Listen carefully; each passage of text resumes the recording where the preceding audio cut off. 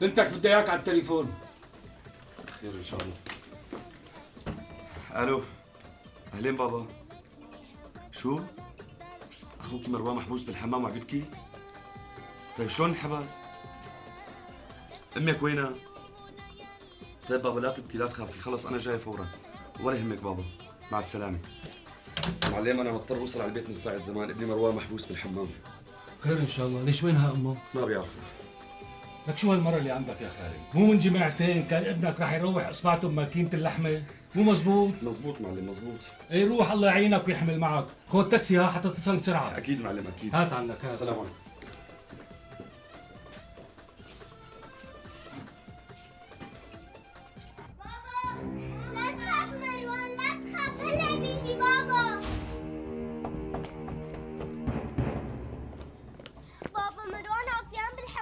لا تخافي ماما لا تخافي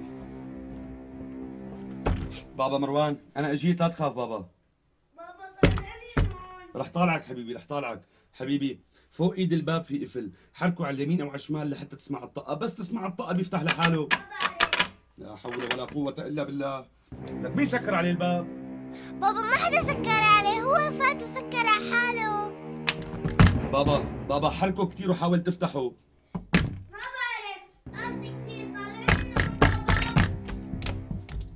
حبيبي بابا. بعد لآخر الحمام أنا رح أخلع الباب فهمت؟ فهمت بابا. يلا حبيبي يلا.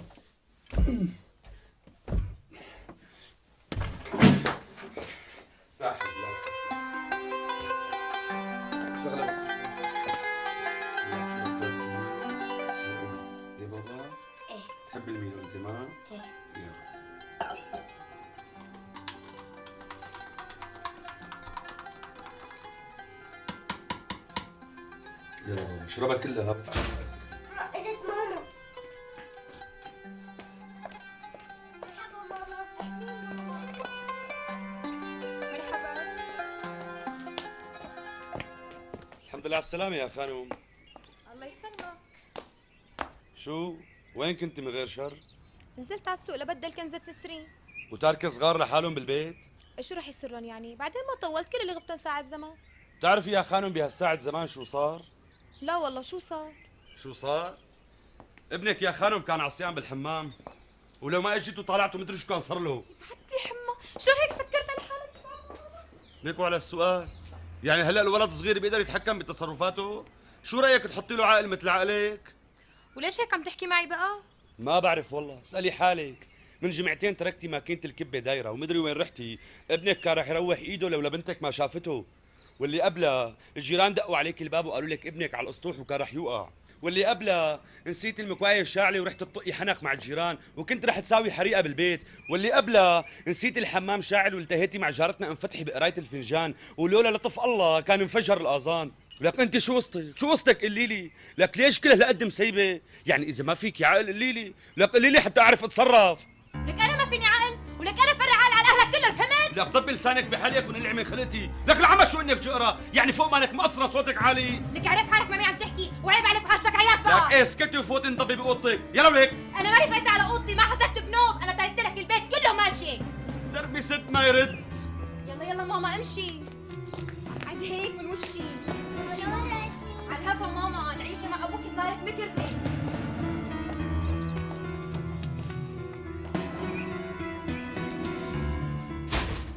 هيدا شوف شو بده هالمقفل. شو بك أنت تاني؟ فوتي لجوا. شو بدنا أرتخينا وشنطة ريالتنا؟ فوتي ولك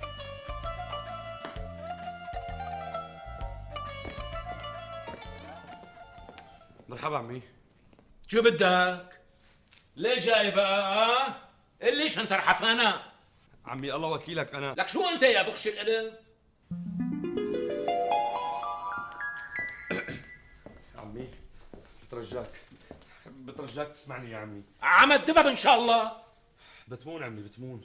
بس يعني أنت من خلال تجاربك الطويلة بتعرف إن الواحد أحيانا ممكن يطلع خلقه وبساعة غضب ما بيعرف شو بيتصرف أو شو بيحكي. ولهالشي بيطالع الزبالة والقرف من تمه. عمي أنا بعترف إني غلطت وما كان لازم يطلع مني الحكي بس هذا اللي صار يلعن الشيطان وغضبه. ولك حاجة بقى تتفلسف علي بقى. شو شايفني قدامك ولد صغير حتى تلحس عقلي بكلمتين زراف؟ فهمني هلا شو بدك؟ وبلا تمسيح جوخ ولحوست رجلين. عمي أنا بدي مرتي فوزية ترجع على البيت. هيك لكان. يا سيدي فوزية ما رح ترجع معك على البيت. شو قولك بقى؟ بس أنا يا عمي. لك يلا من هون ولا؟ يلا من هون. ورجيني عرض كتافك قبل ما يطلع خلقي عليك وامسح فيك الأرض. بس يا عمي فوزية مرتي. فشرت. شو يعني فشل يعني كانت مرتك. شو عم تحكي؟ شو قصدك عمي؟ يعني بدي منك تطلقها يا موص. أعوذ بالله شو طلقها؟ دخيلك يا عمي. اطلع من هون أحسن لك قبل ما أبتلي فيك ها؟ طيب خليني أشوفها بس. لك أنت ما بتفهم؟ تيسر من هون لك تيسر خلصني. يا عمي. يا عمي شو شيء. اطلع لبرا خلصني. روح من هون.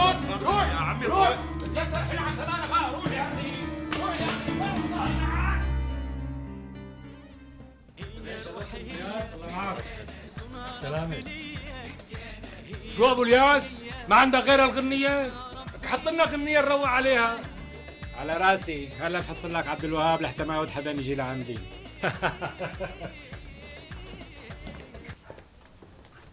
طمني خالد مرتك لسه ما رجعت على البيت؟ لا والله يا معلم ما رجعت طيب ليش لهلا ميبس راسك؟ ما تروح على بيت احماك وترجعها. ميبس راسي؟ صرت رايح ثلاث مرات وآخر مرة ما فتحوا لي الباب بنوب. أوف لهالدرجة؟ مثل ما عم بقول لك يا معلمي عمي عنيد كثير وميبس راسه ولسانه مثل ما براد. الله وكيلك هراني من كتر المسبات والبهدلة. إيه وآخرتها؟ آخرتها الزلمة عم يمشي بمعامله الطلاق. يا لطيف لهالدرجة؟ خالد أنت شو عامل؟ علمي علمك يا أبو رامي. الله وكيلك ماني عامل شيء يعني سعيد خانات إنه المرة واختلفنا شوي. بس الشغلات بتصير بكل بيت. لا حول ولا قوة إلا بالله. وهلأ شو ناوي تعمل؟ ما بعرف. قسما بالله هالزلمه ربطني من إيدي ورجلي.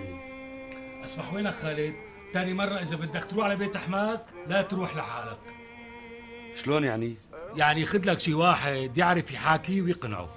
مثل مين معلمين يا سيدي أحسن شي نبعث له مدير المدرسة. هذا متعلم ومثقف وبيعرف يحكي. يعني دبلوماسي من الطراز الأول. أستاذ كنعان؟ طيب شلون بدي أشوفه؟ ولا يهمك اليوم المساء جاي يحلق عندي وأنا بحاكي. اطمن. حط رجليك وإيديك بمي باردة. كتر خيرك معلمي. فالحياة الزوجية يا سيد أبو عجاج بتعتمد على ركنين أساسيين وهما الثقة والتفاهم.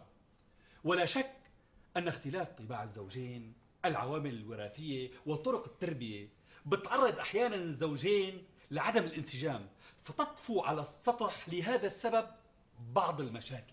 بس المهم هو إنه نستوعب هي المشاكل ونحصرها وهي وصغيره حتى ما تكبر أه، فهمان علي عمي أبو عجاج ليش شو شايفني قدامك صرماية حتى ما أفهم ولا كريك زبالة يا الله ليش هيك بابا صاير عم يحكي؟ ليش من إمتى كان لسانه طري؟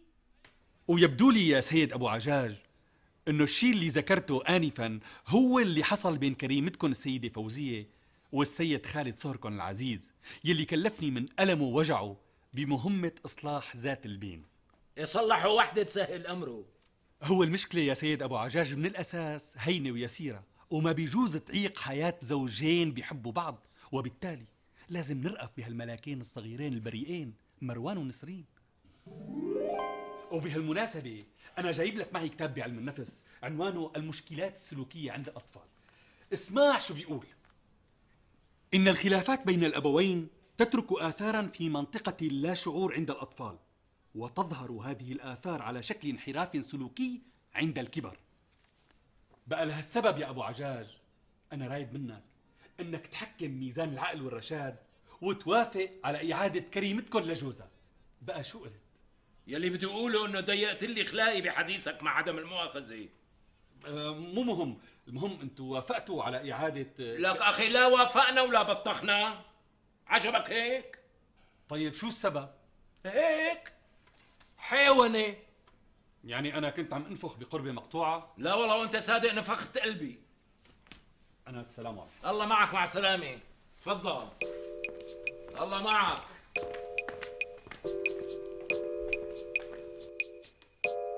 يا الله ليش هيك بابا صاير جلف كتير؟ ما بعرف ما حدا عم يقدر يقنعه ولا حدا عم يقدر يفوت لعقله.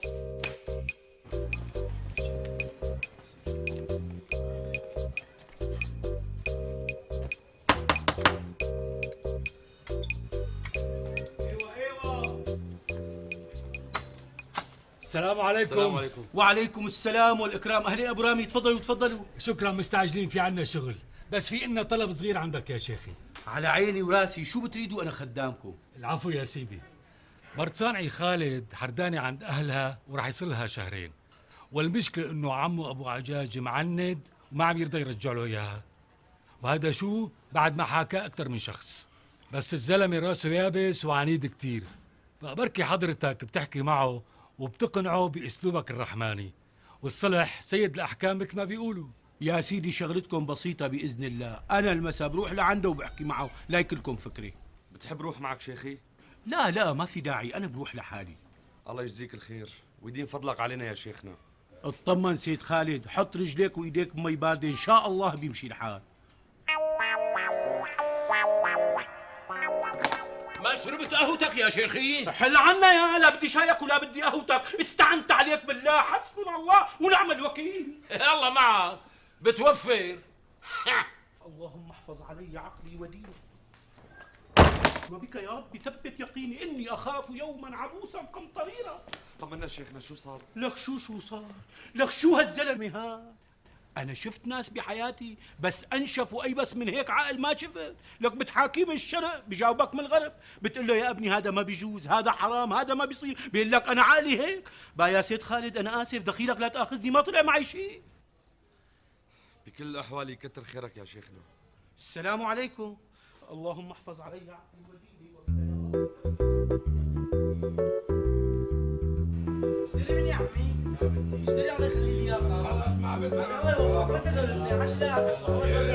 قلت لك ما بدي ما بدي أشتري روحي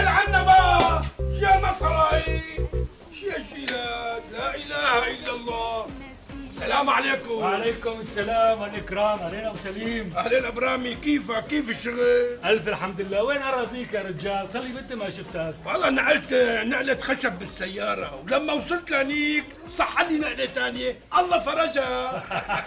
الله يعطيك العافية. تفضل تفضل. إيه على راسي. شرف. سيدي شرف. السلام عليكم. وعليكم السلام. بدك تحلم ما هيك؟ طبعا بدي أحلم. إيه مالك شايف منظري يا رجل. المرة صارت تقرف مني. الأولاد ما عاد تعرفوني. شو بصنع خالد ضارب بوز مثل العجي نايم بالعشاء. اتركه ابو سليم لا تزيد على قلبه المسكين علقانه معه وعلى شعره. خير شو بو؟ مرته صار لها حردانة شهرين وعمه معند معند ما عم يرضى يرجع له إياها. ومين عمو بلا صغرى أبو عجاج. أبو عجاج الديراني ما غيره؟ هو بذاته. أنت بتعرفه يا أبو سليم؟ يقول ما بعرف غيره. أصبح دخيلك تساعدني بموضوعي يا أبو سليم. يعني أخذنا له الأستاذ كان عام مدير المدرسة. والشيخ نعيم وابو رامي وشيخ الحاره وما حدا عرف يحكي معه ويقنعه إنه يرجعه بقى شو بقولك بسيطة خالد بسيطة. أنت فضي حالك وبنروح سوا. شغلتك ناكتة محلولة يا اهلين أبو سليم.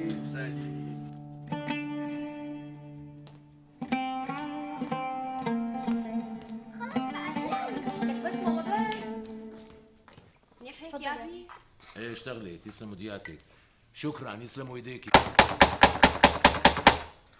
مين؟ رصاص يخلع رقبتك افتح ولاده شو هذا سليم يفضح حريشه. أكيد هذا أبو سليم. فوتوا لجوا أنت وياها. فوتوا أوام. ولك أهلين. أهلين أبو سليم. أهلين.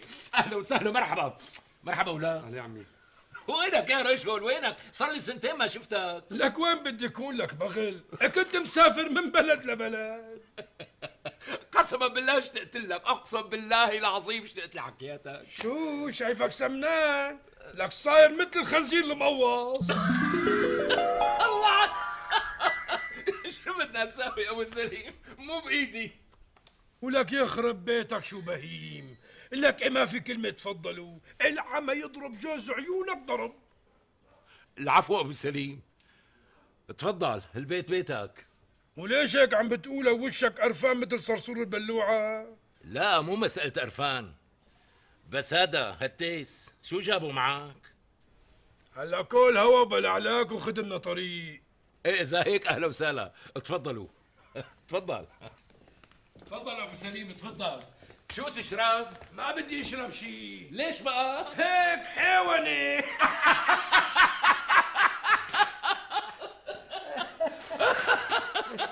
طيب شو سكرك فيي بعد كل هالمدة؟ لك يخرب بيت قلبك شو مخك سميك بس مو مو غريب عليك مثل العادة يعني أنت أنظم يا بندوق قل لي شو بدك فيه؟ ليش اجيت لعندي؟ ولك يا حمار. يا جحش. حدا بيخرب بيت بنته بإيده مشان شغله ناكتة؟ لا تقول شغلة ناكتة. هذا هذا هالدب يلي جنبي. كبر كلام مع بنتي. الحمى تسلق بدنك سلق. شو قال يعني؟ قال أنت ما فيك عقل. انقلعي من وشي. ولك يا كر. المرة وجوزها بيصير بيناتهم اشكال والوان إيه بقى شو كفر إذا قال لها انقلعي من وشي العمى بعيونك ما أخباك. فعلا إنك صرماية عتيقة لك يا أخي الواحد اسمع هلأ أنت عندك خلاق تربي أولاد بنتك؟ لا والله يا أبو سليم مالي خلاق امبارح كسروا لي الأرجيلة واليوم خلعوا حنفية المطبخ. العمى ما أتيسك. وشلون متحملهم عندك؟ هلأ بإختصار شو بدك أبو سليم بدي خالد ياخذ مرته وأولاده يروحوا. فهمان لك حيوان. الله عليك يا أبو سليم شو حكياتك ظراف فهمان يا جحش فهمان. فوزيه فوزيه لك يا عفريتي. نعم بابا. خدي السعدين وروحي مع جوزك الدب لبيتكم. يلا حلوا عن سمانه امرك بابا.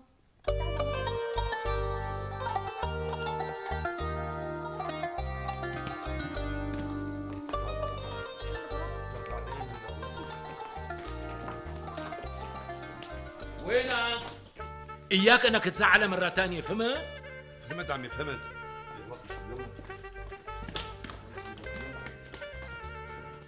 وأنت الثاني كمان بقول لك أنا خاطرك لأني مستعجل. شرفت أبو سليم أهلين وسهلين الله معك. خليني أشوفك يا كلب.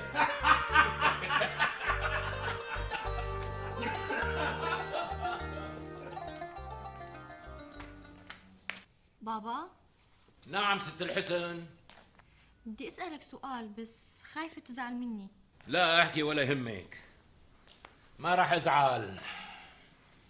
ليش رجعت فوزية لجوزها أول ما حكى معك أبو سليم وما رديت؟ لا على الأستاذ كنعان ولا الشيخ نعيم ولا على أبو رامي. ولك حبيبتي هدول الناس ما بيعرفوا يحكوا. أما أبو سليم إيه تسلم لي عينه على هاللسان الحلو الدافي اللي عنده. هذا اللي بيعرف يحكي. فهمتي يا حيواني إيه لك